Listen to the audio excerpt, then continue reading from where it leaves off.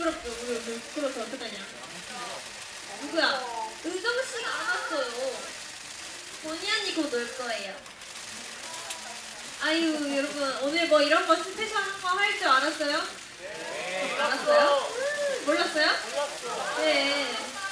몰랐다고 해야지. 되게 굉장히.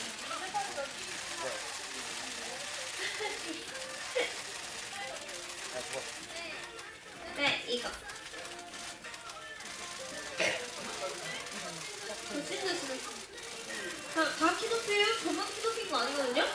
키높이에요. 보세요? 보실래요? 저만 알고 공룡이에요. 아니 언니 엄청 높네. 난 이만해. 아니요. 뭐야? 키, 키 작은 사람 이해해주면 사이즈 하세요. 때문이야 사이즈. 발이 적어서 그래. 미안한데. 알았어. 아 진짜 아유. 부끄럽다. 아유, 민망해라잉. 빨리. 보니 언니 슬슬 찾을게요. 보니 언니. 보리 언니.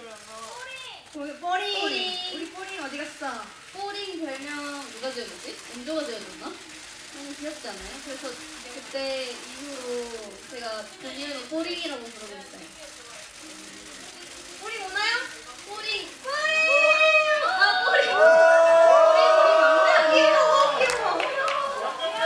뽀링 완전 우리 막내기죠? 이렇게 앞에 섰으니까 시작 전에 어, 새해 인사드리고 시작을 해볼까요? 언니 완전 콩치타치 같아. 네, 인사드리겠습니다. 둘, 셋. 아이디어의 프레젠. 안녕하세요, 김누팀입니다.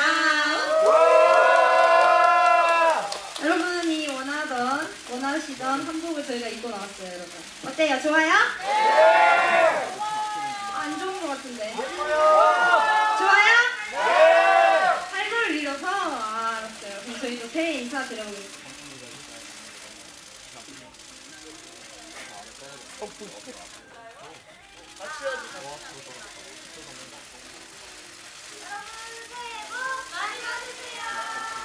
와! 새해 복 많이 받으세요. 새해 복 많이 받으세요.